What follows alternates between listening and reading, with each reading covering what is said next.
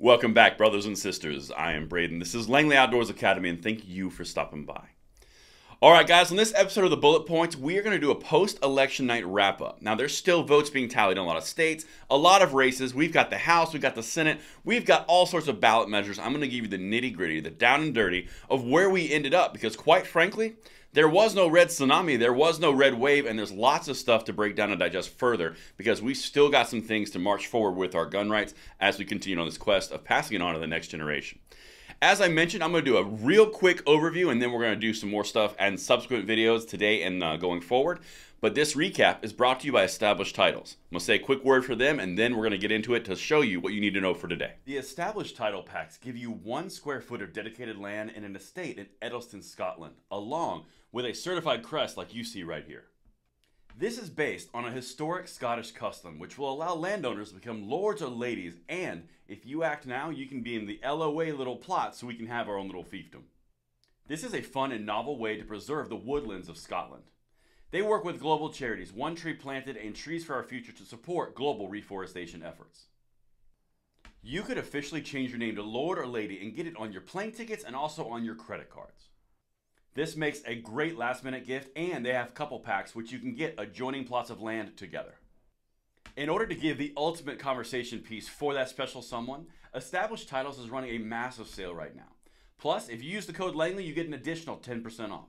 Go to establishedtitles.com slash Langley to support the channel now. All right, my brothers and sisters, as I mentioned in the introduction, nothing really materialized as was projected in the polling. Honest to God, it did not come out like a lot of us thought. Even the Democrats in the media were surprised. Even the Democrats in the Democratic Party were surprised.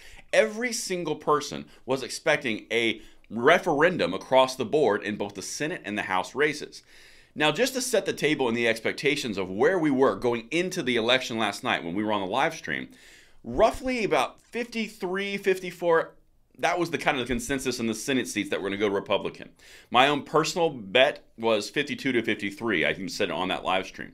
The House was going to flip by a larger, a larger margin. Then we had to look at the ballot measures in Iowa and then also in Oregon. These are all gun ballot measures.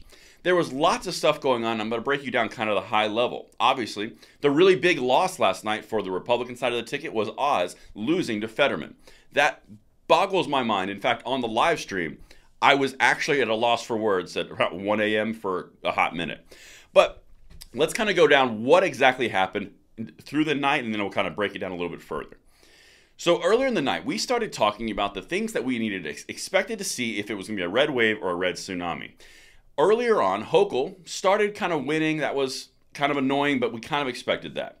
Then we started seeing uh, Hassan in the Senate race in New Hampshire also kind of hold their own and then eventually win.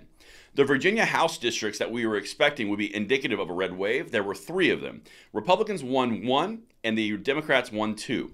Now, where that leaves the Virginia race is nothing really changed. In fact, if it had been three, that would have been indicative of a big wave going in the way of the Republicans. But because it was only 30%, that kind of correlated and set the tone for the rest of the night.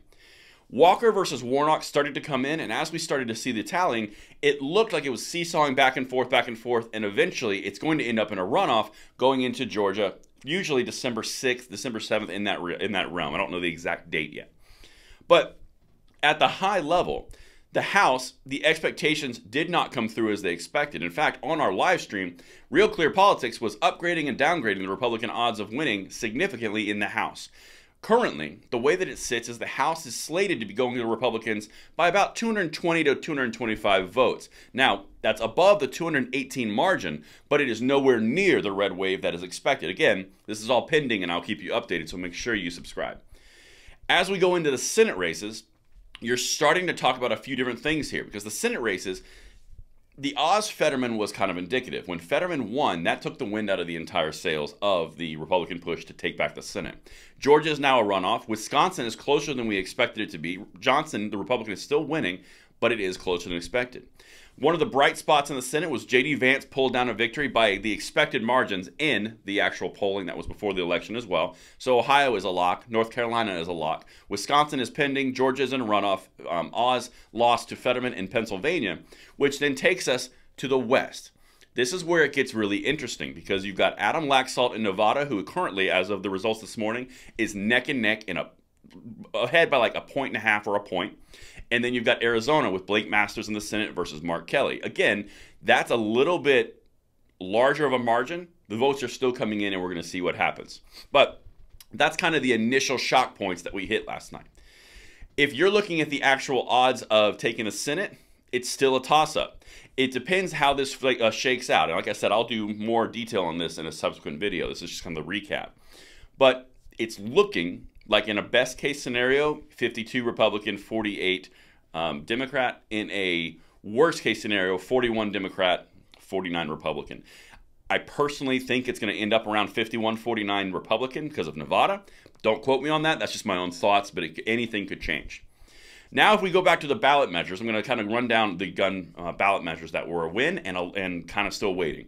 So, in Iowa, there was a Second Amendment preservation amendment adding into the Constitution. That passed, that is it. Iowa, congratulations, you now have an amendment to your Constitution which further protects the Second Amendment rights of your state. That's on a state level. That one was a lock, that was a very good win. Oregon, Measure 114, this is the gun control um, proposals put forward. Currently, it is losing at like 51% of the with 75% of the vote coming in as of this moment, Oregon is not passing the gun um, registration, gun fees, and the gun control measure 114. That can change. Don't hold me to it. I'll keep you updated. But as we sit right now, the Republicans are slated to get, like I said, a slim majority in the House. Then they are questionable on the Senate. Overall, extremely lackluster performance from Republicans. We're going to break down even further as we go forward. I'm sure you're going to hear a lot of it. What went wrong, where it didn't materialize, what was the actual catalyst for the failure. But that is the early morning nitty gritty, and hopefully that sets you up for a little bit of the information as we go forward on what you missed. Let me know what you think in the comments below, and I will see you on the next videos. I'm Braden. See you later.